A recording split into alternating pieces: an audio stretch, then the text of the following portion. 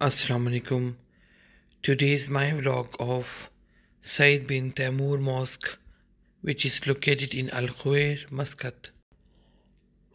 The Mosque of Sultan Said bin Taimur is one of the most breathtaking architectural landmarks in Oman and one of the most significant mosques built in Oman in recent times.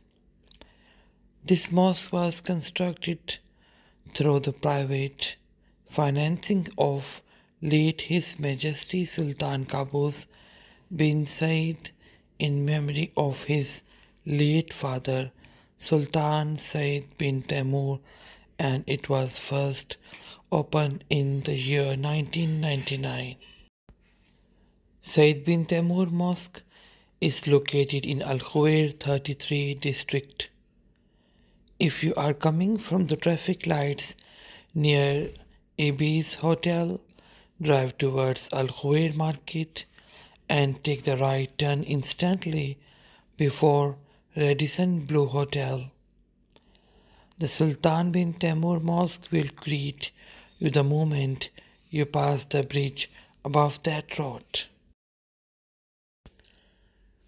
This mosque is built in the architectural style of Osman mosques. The mosque stands imposed on the backdrop of the mountains of Muscat in the buzzing heart of Al Khuwair. The mosque features a number of copper colored domes and two 50 meters high minar. Said bin Taimur Mosque accommodate up to 2,200 worshippers. It also had a designated prayer hall for women, a library, and a small Quran teaching school.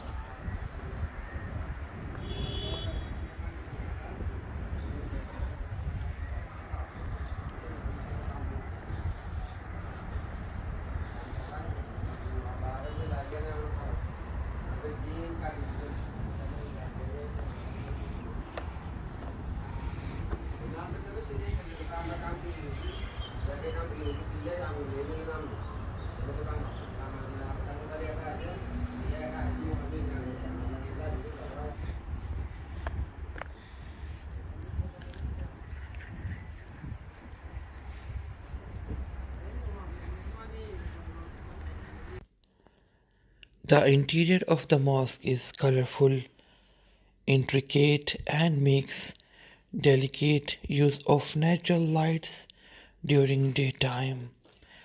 The interior is unique among other modern Omani mosques in its brave usage of bright colors such as pink, turquoise, and cream in the symmetrical radial patterns in its ceiling and the inner columns.